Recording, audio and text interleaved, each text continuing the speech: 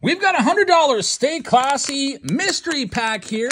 What is the return going to be? Let's go ahead and see. Get in the comments, let me know how much you think all these cards are worth return-wise. We got a Mike Trout. That's a facsimile auto to start us off.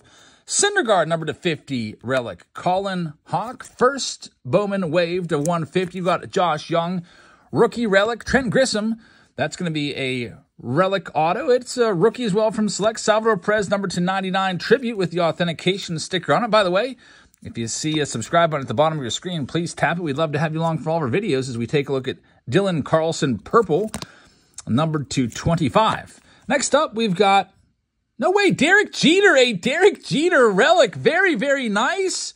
Jack Morris Hall of Fame autograph and We've got a Roberto Clemente game used bat right there to wrap it up. A $100 Stay Classy pack comes through again.